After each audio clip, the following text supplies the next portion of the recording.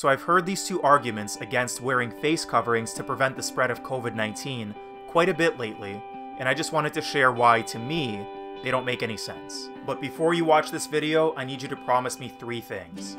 One, you will not use this information that I'm sharing with you to judge anyone, call anyone stupid, or do or say anything hateful to anybody. There's already enough hate and division over this topic, and my intention is just to give you my opinion based on my basic scientific knowledge and the personal research that I've done. Two, you will not leave any hateful comments on this video because I'll block you immediately. And three, you need to understand that this video is for informational purposes only. This is not medical or professional advice of any kind. It's just simply my opinion based on my knowledge and my experience and the research that I have done.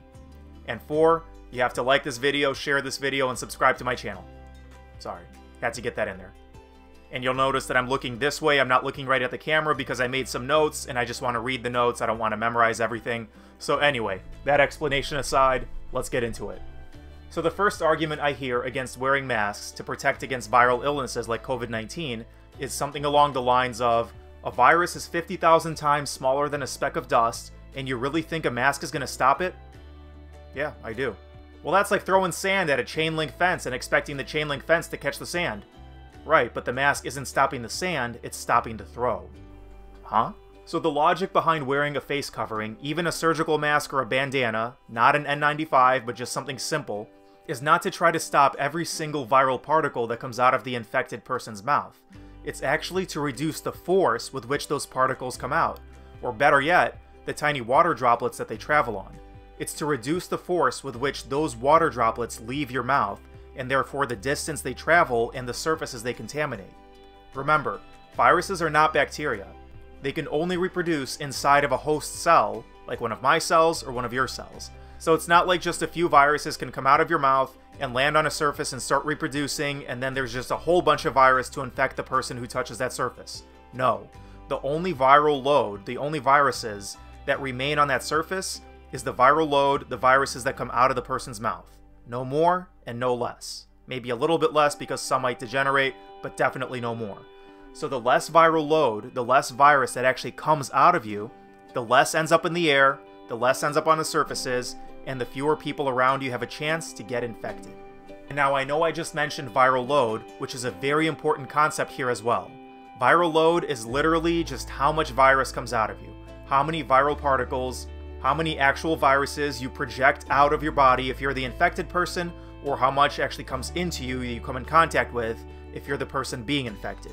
And this matters, because a very small number of viruses entering your body, unless you're severely, severely immunocompromised, like you have HIV AIDS, or you're on long term immunosuppressants for an autoimmune condition, something like that, unless you're one of those folks, if you're a fairly healthy person, your body will very likely fight off that small amount of virus that's in you but the more viral load there is, the harder it is for your immune system to do that job and to fight it off.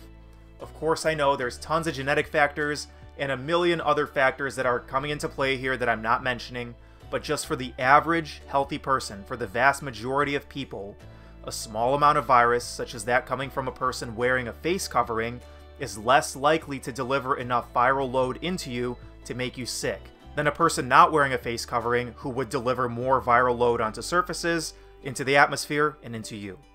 So the compound effect of everyone, or at least most people, wearing a face covering translates to less viral load in our stores, on our surfaces, and fewer sick people overall.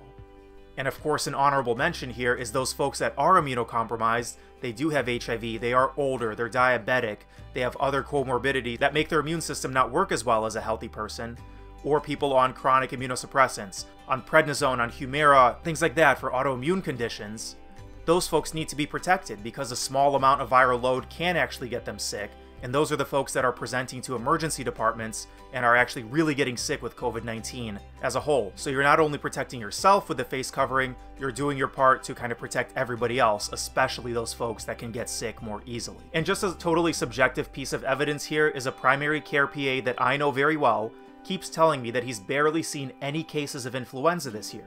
So, influenza, you know, the flu, is another viral illness that's similar but not the same as COVID 19. And he says he's prescribed much less Tamiflu, you know, the medicine you give to somebody if they have the flu less than 48 hours. Um, and he's treated many fewer cases of the flu than he normally does, even though it's flu season. So, what's been different this year? Well, most people, at least in the area that we live, most people are wearing face coverings to the stores when they get around people. There's been social distancing, and that's prevented the spread of diseases like the flu and COVID 19. Which actually leads me to the second argument I'd like to talk about that doesn't make any sense to me, and that's that COVID 19 and influenza, the flu, are the same thing. I've actually heard licensed, practicing physician assistants say stuff like this. They say a virus is a thousand times smaller or 50,000 times smaller than a piece of dust, and so when they look at it under an electron microscope, how in the world can you tell the difference between the flu and COVID 19? Well, my response to this is twofold.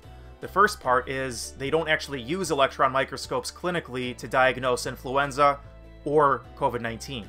And two, the electron microscope actually can detect physical differences between viruses, as you'll see by reading reference number 3, and you'll see the references that I used to research this video at the end of the at the end of the video and also in the information for the video.